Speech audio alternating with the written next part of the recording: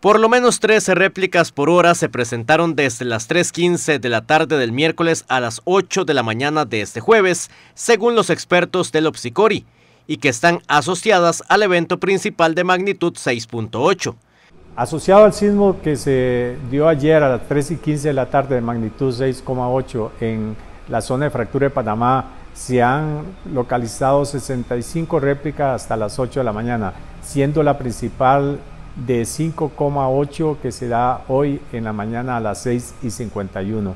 Y como podemos ver en el mapa, esta mayoría de, de sismos y réplicas se presentan desde el sismo principal hacia el norte, ya más cercano al continente. La zona donde se produjo el sismo es una región muy activa según los expertos. Ocurrió a lo largo de la zona de fracturas de Panamá, que es un sistema de fallas que marca el límite entre la placa del Coco y la placa de Nazca.